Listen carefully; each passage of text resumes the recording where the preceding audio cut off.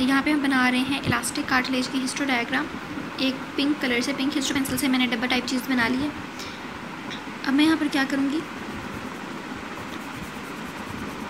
Dark pink colour में एक line बनाऊँगी।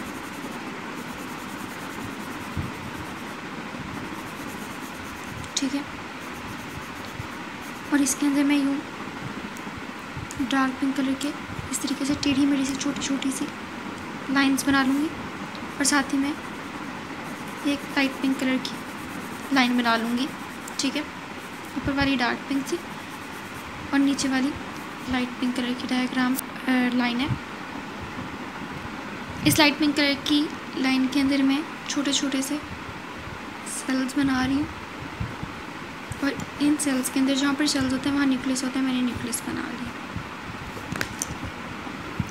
अब ये पूरा बाकी जो डब्बा बच गया हमारे पास, इसके अंदर हम पिंक हिस्टो पेंसिल से कलर कर देंगे। ये हमारे पास मैट्रिक्स है इसका।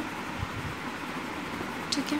कलर करने के बाद हम थोड़ा सा फिंगर से इसको यूँ रब करेंगे, ताकि सारा एक अच्छे तरीके से होमोजीनियस कलर सा हो जाए।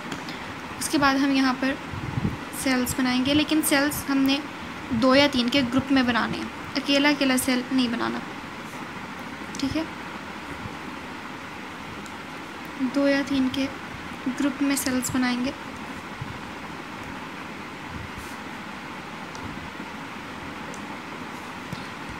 और इन सेल्स के अंदर अब हम न्यूक्लियस बना लेंगे।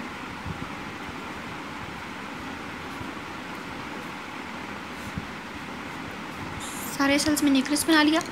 न्यूक्लियस बनाने के बाद हम इन सारे सेल्स को इस तरीके से एक हल्की सी जो है वो शील से कवर कर देंगे। ये जो ग्रुप है, हर ग्रुप के इर्द गिर्द एक हल्की सी शीत बन जाएगी।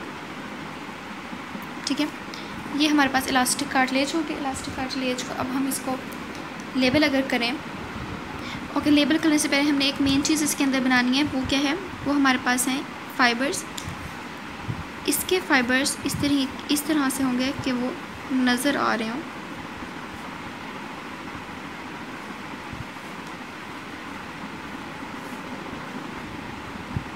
ठीक है? इसके फाइबर्स आपको नज़र आने चाहिए। ये अलग अलग से फाइबर्स हमारे पास नज़र आ रहे हैं। अब अगर हम इसको लेवल कर लें तो हमारे पास, क्योंकि ये इलास्टिक कार्टलेज है तो ये इलास्टिक फाइबर आ जाएँगे। ये एक से अलग से